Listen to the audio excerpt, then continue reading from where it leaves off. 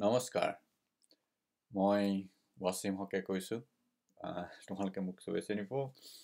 এতিয়া ইংলেণ্ডৰ লণ্ডনৰ ওচৰৰ ব্ৰেকনেলৰ পৰা কৈছোঁ। ইয়াত বিশেষ ঠাণ্ডা পৰিছে। কেইদিনমানৰ আগতে বৰফো পৰিছিল। আকৌ কালি আকৌ বৰফ পৰিব চাগে। মই এতিয়া বাহিৰত অলপ দৌৰি খোজকাঢ়ি আহিলোঁ।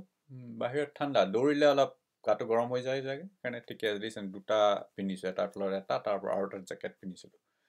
ঠাণ্ডা। পানীবোৰ ডুঙা পানীবোৰ থাকে যে ৰাস্তাৰ কাষত সেই পানীবোৰ ওপৰত সৰুকৈ বৰফৰ চামনি এটা পৰি গৈছে। সেইটো বাহিৰত ঠাণ্ডা আৰু কালি আৰু ঠাণ্ডা পৰিব। এইখিনি এই সপ্তাহটোত যথেষ্ট ঠাণ্ডা পৰিব। নিগেটিভ হৈ যাব। মাইনাছ টু মাইনাছ থ্ৰী সিমানমান হ'ব। গতিকে ঠাণ্ডা পৰিছে।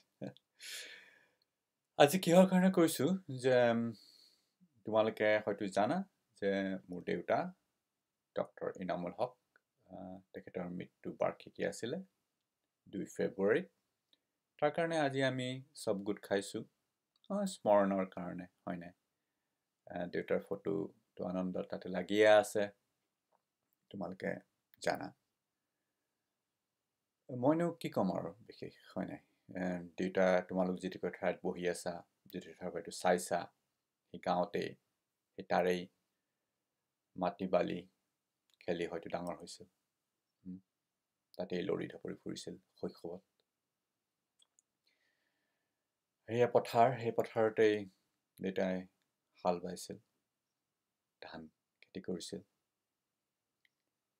সেই মাটিৰ পৰাই দেউতাৰ সৃষ্টি তাৰমানে মোৰ সৃষ্টি আমাৰ সকলোৰে সৃষ্টি সেই মাটিতেই সেই বতাহত সেই পানীতেই হয় নাই? গতিকে দেউতাৰ প্ৰভাৱ হয়তো তোমালোকৰ চবৰে আছে অলপ অলপ। হয় নাই সেইটুকুৰা ঠাইৰে যদি।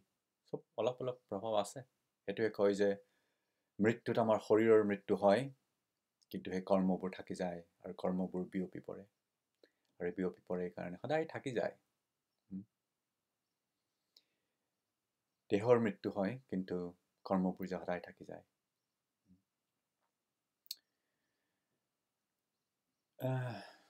আৰু দেউতাৰ বিষয়ে হয়তো তোমালোকে জানাই। তাৰ পৰা গৈ পেলাই সেই টুকুৰা ঠাইতে সেই সময়ত ভাবি চোৱাচোন ঊনৈছশ পঞ্চাছ চন তাৰমানে কিমান এতিয়াই সংযোগ ব্যৱস্থা কিমান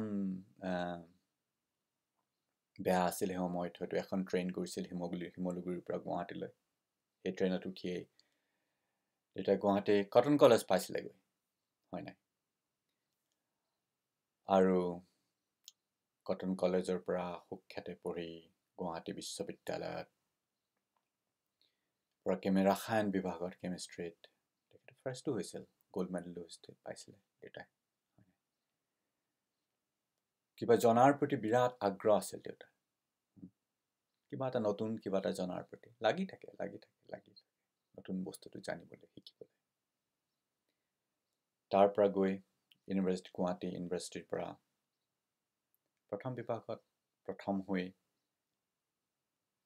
এইটো নহয় যে দেউতাই হয়তো প্ৰথম বিভাগত প্ৰথম হ'বলৈ চেষ্টা কৰিছিল কিন্তু আগ্ৰহ আছিল নতুন কিবা এটা জনাৰ আৰু সেইকাৰণে হৈছিল। এইটো নহয় যে গ'ল্ড মেডেলটো ল'বলৈ হয়তো দেউতাই পঢ়িছিলে নহয়। সোণৰ পদক ল'বলৈ দেউতাই পঢ়া নাছিল। বা প্ৰথম বিভাগত প্ৰথম হ'বলৈও দেউতাই পঢ়া নাছিল। পঢ়িছিলে জ্ঞানৰ কাৰণে নতুন কিবা এটা শিকাৰ আগ্ৰহৰ কাৰণে। আৰু তাৰ পৰা গৈ আকৌ সেই নতুনকৈ জনাৰ বিজ্ঞানৰ লণ্ডন পাইছিলেহি। ইম্পেৰিয়েল কলেজ বিখ্যাত কলেজ ইম্পেৰিয়েল কলেজ লণ্ডনৰ। লণ্ডনত চাবলৈ গ'লে তিনিখন বিখ্যাত ইউনিভাৰ্চিটি বা বিশ্ববিদ্যালয় কেম্ব্ৰিজ অক্সফৰ্ড তাৰপিছতে ইম্পেৰিয়েল কলেজ ইম্পেৰিয়েল তাত ৰাসায়নিক বিভাগখনৰ স্পেক্ট্ৰস্কপিৰ ওপৰত গৱেষণা কৰিছিলে। তাৰ পৰা সুখ্যাতিৰে পি এইচ ডিও পাইছিলে তেতিয়া ডক্টৰেট হৈছিলে। তাৰ পৰা ইয়াত নাথাকি উভতি গৈছিলে সেই ডিব্ৰুগড় বিশ্ববিদ্যালয়ত। ৰাসায়ন বিভাগটো যেতিয়া আৰম্ভ হৈছিল ৰাসায়ন বিভাগ কৰিবলৈ। মৰম আছিল মাটিৰ মৰম আছিল দেশৰ প্ৰতি। নিজৰ মানুহৰ প্ৰতি মৰম আছিল কিবা এটা শিকোৱাৰ দেউতাই নিজে শিকাৰ আৰু শিকাৰ প্ৰতি বিশেষ আগ্ৰহ আছিল গোটেই জীৱনটো তাৰপিছত শিক্ষক হিচাপে গোটেই জীৱনটো কটাই দিলে। অৱসৰ লোৱাৰ পিছতো দেউতাকে ল'ৰা ছোৱালীক পঢ়াইহে থাকিলে মই যেতিয়া সৰুতে মন কৰোঁ দেউতা মোক খুব মোৰ মনত পৰে কেতিয়া কিমান কম খং খং নায়েই আৰু বৈজ্যিক বস্তুৰ প্ৰতিও সিমান আগ্ৰহ নাই যে নতুন চোলা এটা নতুন চুৱেটাৰ এটা নতুন বস্তু জোতা পিছত মোবাইল ফোন এটি সাধাৰণ মোবাইল ফোন। সেইবোৰৰ প্ৰতি দেউতাৰ আগ্ৰহ নাই কাৰণ দেউতাই ইমান ঠাণ্ডা গতিকে শান্তি আৰু আনন্দ সদায় নিজৰ ভিতৰতেই বিচাৰি পাইছিল। আৰু মই সেইটো পিছত শিকিলোঁ। মই বাহিৰত ঢাউলি ফুৰিছিলোঁ আনন্দ বিচাৰিবলৈ। কিন্তু দেউতাই জানিছিলে যে আনন্দ নিজৰ ভিতৰতে থাকে। বৰষুণৰ টোপালবোৰ বাহিৰত এখন আমাৰ চকী আছিল চোতালত। সদায় সেই চোতালত বহি চাহকাপটো লয়। সন্মুখৰ কলগছজোপা। গছকেইজোপালৈ চাই থাকে কোনটো চৰাই আহিছে কোনটো চৰাই পৰিছে। বৰষুণ দিলে বৰষুণৰ টোপালবোৰ চাই থাকে। সেইবোৰতে দেউতাই আনন্দ পাইছিল। সিমান চিনেমা চিনেমা বা টিভি সেইবোৰ চোৱাত দেউতাৰ একদম আগ্ৰহ নাছিল। সদায় বাৰীখনত গধূলি খুচৰি বাৰীত কোৰ মাৰি খেতিয়কৰ তেজ হয় নাই? আমাৰ চবৰে আছে দেউতাৰো আছিল। বাহিৰত বাৰীখনত সেই কবি শাক পাচলি লগাই আছিল। সাধাৰণভাৱে আছিল অতি সাধাৰণভাৱে। বৈজ্যিক বস্তু আছিল। জ্ঞানৰ প্ৰতি বিশেষ আগ্ৰহ আছিল হা? ৰাতিয়ে এটা দুটা বজালৈকে দেউতাই পঢ়িছিলে। বিভিন্ন ধৰণৰ কিতাপ অকল ৰসায়ন বুলিয়ে নহয়। ফিজিক্স বিজ্ঞানৰ নতুন বিজ্ঞানৰ নতুন কথা জনাৰ ৰাজনীতি বিজ্ঞান পলিটিক্স লিটাৰেচাৰ সাহিত্য খুব পঢ়িছিলে খুব পঢ়িছিলে। বিচনাৰ ভিতৰত কিতাপৰ দম হৈ গৈছিলে পঢ়ি এটা দুটা বজাত ৰাতি শুইছিলে দেউতা। ৰাতিপুৱা আকৌ ক্লাছৰ কাৰণে সদায় দেউতাই নিজকে প্ৰস্তুত কৰি গৈছিল সদায় আজি ইমান বছৰ মই দেখি আছোঁ ক্লাছটোত কিমান বছৰ লৈ আছে হয়তো সেইখিনি কথাই পঢ়ি আছোঁ কিন্তু প্ৰত্যেক দিনাই দেউতাকে নিজে প্ৰস্তুত কৰি গৈছিল ক্লাছত ৰাসায়নিক বিভাগ পঢ়াবলৈ আৰু ইমানেই পঢ়াই ভাল পাইছিল দেউতা ইমানেই যে ল'ৰা ছোৱালী কিতাপ এটা ভাল হওক তাৰ কাৰণে ইমানেই কৰিছিলে। মই মই পিছতে গম পাইছোঁ যেতিয়া চলব্ৰুক একাডেমীত যেতিয়া আছিলে যেতিয়া ময়ো আছিলোঁ তেতিয়া মই ময়ো ডিব্ৰুগড়ত আছিলোঁ মাৰ অসুখ আছিল আৰু মাৰ ঢুকুৱাৰ মাৰ মৃত্যুৰ খবৰটো যেতিয়া দেউতাক গৈ পেলাই দিছিলে গৈ তেতিয়া দেউতাই ক্লাছ এটা লৈ আছিল। আৰু তেতিয়া দেউতাই কৈছিলে ৰ'বা ক্লাছটো দি থাকোঁতে অশ্বিনী দুৱাৰা হেৰি অশ্বিনী দুৱাৰা আংকল তেওঁ গৈ যেতিয়া মৃত্যুৰ খবৰটো দিছিলে দেউতাই কৈছিলে অঁ ৰ'বা মই ক্লাছটো শেষ কৰি আহি আছোঁ মই ক্লাছটো শেষ কৰি ল'ব দিয়া। ভাবি চোৱাচোন কিমান মোৰ এইটো ভাবি চোৱাচোন কিমান কৰ্ম কৰ্মৰ প্ৰতি কিমান হেৰি আছিল গীতাত কয় নহয় কৰ্ম কৰি যোৱা ফলৰ কথা কৰ্মবীৰ ফলৰ কথা চিন্তা নকৰিবা দেউতা সেই তেনেকুৱাই আছিল ল'ৰা ছোৱালীক পঢ়াই গৈছিল পঢ়াই গৈছিল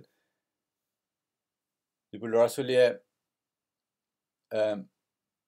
নিজে অৰ্থনৈতিকভাৱে দুৰ্বল আছিল তেওঁলোকক মাতি আনিছিল দেউতাই পঢ়াইছিলে। অকল ক্লাছতে নহয় দেউতা হোষ্টেলত গৈও দেউতাই পঢ়াইছিলে ল'ৰা ছোৱালীবিলাক তোমালোকে পাৰিছা নাই? চোৱাচোন হেৰি কৰা। গতিকে আৰু কি ক'ম তোমালোকৰ বহুতো হয়তো তোমালোকৰ কিছুমান ককা আইতাই দেউতাৰ কথা জানিব ইয়াত তেওঁলোকৰ পৰা শুনিবা। আৰু এটা দেউতাই কৰিছিলে মোৰ লগত মই হেনো সৰুতে বৰ অধৈৰ্য আছিলোঁ। মই ইফালে ইফালে দৌৰি ফুৰিছিলোঁ মনটো ইফালে দেউতাই মোক লৈ গৈছিলে ওচৰত এটা পুখুৰী আছিলে ডাঙৰ পুখুৰী ডিব্ৰুগড় ইউনিভাৰ্চিটিত পুখুৰীটোত বৰশী বাবলৈ। মাছনো কিমান পাইছিলোঁ নাপাইছিলোঁ। কিন্তু পুঙাটো পৰি যে স্থিৰভাৱে দেউতাই চাই আছিলে ঘণ্টা ঘণ্টা ধৰি। আৰু ময়ো সেই চাই আছিলোঁ। সেয়া আছিল আমাৰ ধ্যান। দেউতা আৰু মোৰ ধ্যান। গৰমৰ বন্ধত প্ৰত্যেক দিনাই দুপৰীয়া আমি ভাত খাই দুটা বজাত সেই পুখুৰীটোৰ পাৰত বহিছিলোঁগৈ। দুটা বজাৰ পৰা চাৰিটা পাঁচটা বজালৈকে দুঘণ্টা তিনি ঘণ্টা আমি সেই নিৰ্জনতাৰ মাজত সেই পুখুৰীটোৰ পোঙাটো চাই আমি বহি আছিলোঁ। সেয়া ধ্যান। আৰু সেই ধ্যান হয়তো মোৰ গোটেই জীৱনত থাকি গ'ল। মাজতে হেৰাই গৈছিল কিন্তু আকৌ বিচাৰি পাইছিলোঁ। পাঁচ বছৰ আগতে। এতিয়া মই ঘণ্টা ঘণ্টা বহি থাকোঁ। দেউতাৰ লগত সেই বহাৰ সেই অভ্যাস। গতিকে এয়াই ক'লোঁ। তোমালোকে কৰ্মৰ পৰিবই। সেয়ে ময়ো সেইকাৰণে শিকাই ল'ৰা তোমালোকে শিকিবা। সেইটো মই আগ্ৰহ কৰোঁ আৰু দেউতাৰ সেইটোৱে আশা আছিল চবেই শিকক। জ্ঞানৰ পৃথিৱীখনেৰে জ্ঞানেৰে বিজ্ঞানেৰে বা বিজ্ঞান বুলিয়ে নহয়। সকলো ধৰণৰ জ্ঞান সাহিত্য কলা ৰাজনীতি বিজ্ঞান সকলো বিজ্ঞান সকলোৰে পৃথিৱীখন চাওঁ। আৰু দ্বিতীয়তে আমি নিজক চাব লাগিব নিজৰ ভিতৰত চাব লাগিব। সুখ যে আমি বিচাৰি ফুৰোঁ বাহিৰত সেয়া নাই। আৰু দেউতাই সেইটো ভালকৈ উপলব্ধি কৰিছিলে। সদায় চাৰ্টটো বাহিৰত ওলাই ইউনিভাৰ্চিটিত গৈছিলে ক্লাছটো ল'বলৈ। কোনো নতুন বিলাসী জীৱন যাপন কৰা নাছিলে। দেউতাই সেইটো ভালকৈ জানিছিলে যে সুখ নিজৰ ভিতৰতে আছে। চাহকাপটো লৈ বৰষুণ চাই চাই আনন্দ পাইছিল। গছৰ পাতবোৰ লৰা চৰাই চিৰিকটিক চাই দেউতাই আনন্দ পাইছিল নিজৰ ভিতৰত সোমাই গৈ মনটো গতিকে আমি এই দেউতাৰ পৰা সেইটোৱে শিকিছোঁ মই আৰু তোমালোকেও হয়তো কিবা আনন্দৰ যোগেদি আনন্দৰ বিভিন্ন ধৰণৰ কিতাপ পত্ৰ